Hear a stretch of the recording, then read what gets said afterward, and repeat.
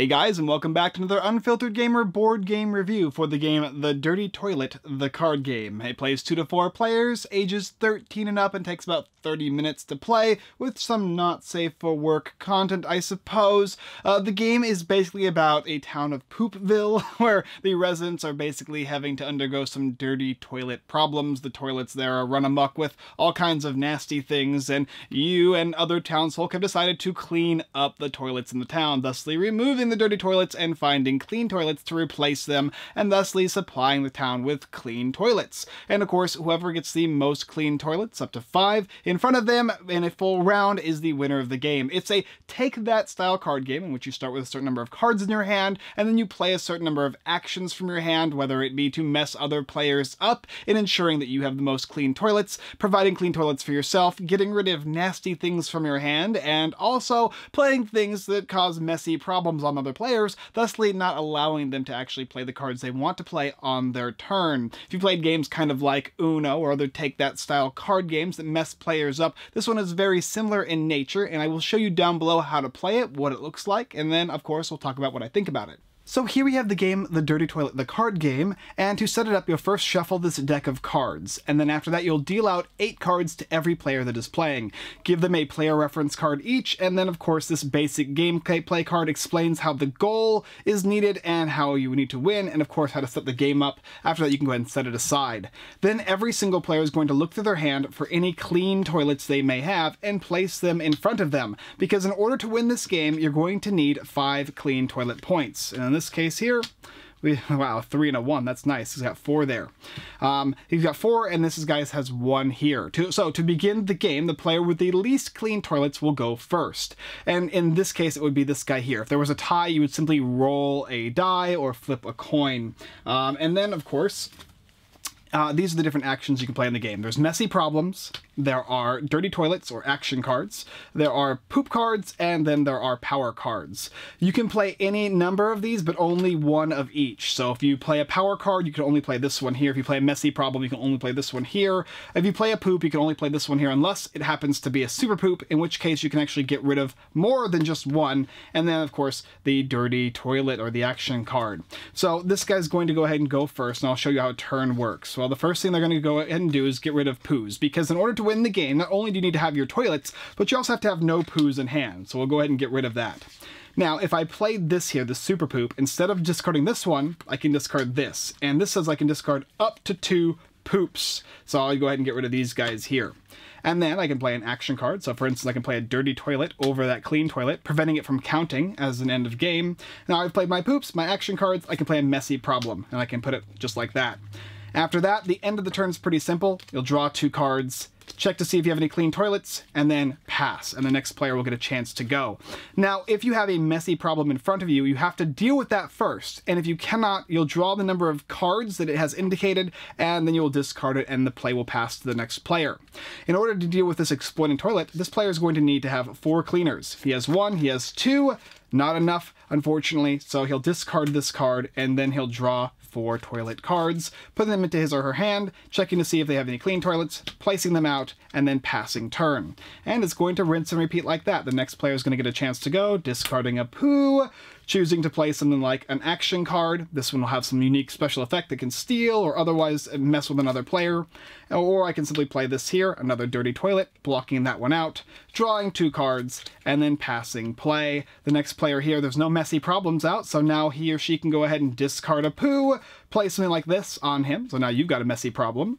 Uh, I could play an action card of some some sort, and then I could also, if I if I can, get rid of this guy here by either discarding two cleaners or a super bleach. And in this case, I have two cleaners, thusly getting rid of uh, this one here, putting me back up to four toilets. And that's it. You just keep going back and forth up until the point where somebody gathers five toilet cards or five points in toilets and doesn't have any poos in their hand after the end of a round, and that player is determined the winner of the game, the Dirty Toilet, the card game. Pretty simple, straightforward, back and forth, take that card game, which involves a little bit of tableau management and keeping your toilets clean and protecting them from other players.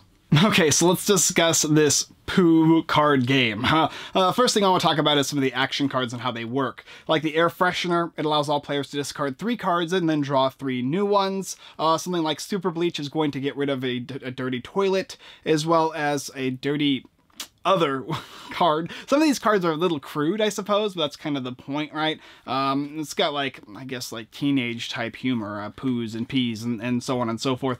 Unlicensed contractors steal and use any opponent's clean toilets. So you can steal toilets from other players. Um, and then, of course, they have the variety of different poops in the game. Now, the most important one is obviously going to be the super poop. This one here is going to allow you to discard multiple poops from your hand, thusly allowing you to win the game by having five clean toilets. But they've got things like the fairy poop and the greedy poop and the, uh, the, the panda poop, and so on and so forth. Uh, they have really powerful cards like the Toilet Angel. This one here will let you uh, remove all dirty toilets in front of you, and when in play, no other action can negatively affect the uh, holder. It's a pretty powerful card. And then Cleaners. Cleaners are very, very important. They get rid of messy problems. They're able to remove certain dirty toilets and whatnot. They're, they're extremely useful, but they're extremely sparse. You're very much likely to not have the cleaners that you need comparatively to the messy problems that are going to be around the game. And then, like I said, the dirty toilet. This one here covers up all of your toilets, preventing you from winning the game. So the two ways you're going to lose is by either placing cards uh, over the dirty, over clean toilets, those dirty toilets, or you have too many poops in your hand. Uh, it's going to be hard to, to, keep discarding them and getting rid of them. Uh, it has this like Uno feature. It's got those like take that mechanisms where it's like exploding pit kittens and, and that sort of style of play.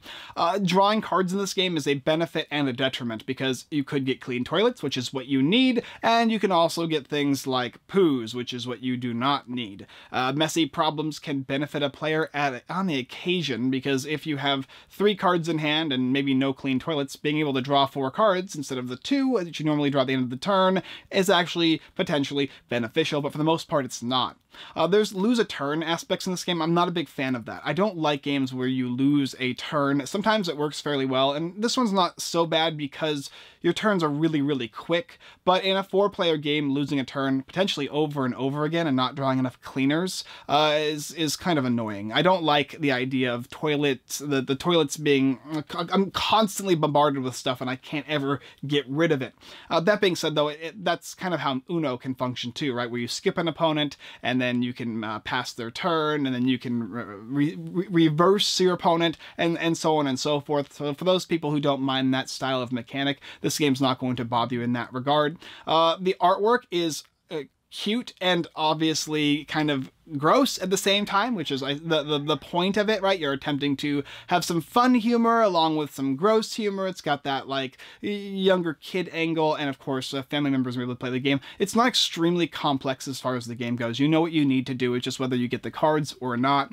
If you like funny humor, if you enjoy games that have a lot of take that mechanisms, messing with players, screwing with them, stopping them from being able to play certain things, and preventing people from being able to win, you're going to enjoy this game. For those of you who do not not like that style of game, you're obviously not going to like the style of game. For me, this is a game I would play specifically with my younger family members, my younger cousins, people that have that same sense of humor. There's definitely a audience for this type of a game. Uh, for me, it's probably right on the level. It's not a game I'd typically say, oh no, I wouldn't ever play that, but it's not a game I'd specifically pull out in any situation. This is going to have a direct, specific audience for people who really enjoy there's the, the potty humor and the take that mechanisms because they can be extremely aggressive and, uh, you know, like extremely playful playful, playfully aggressive, in which somebody's like, ah, dang it, dang it, dang it, and it's constantly messing them over.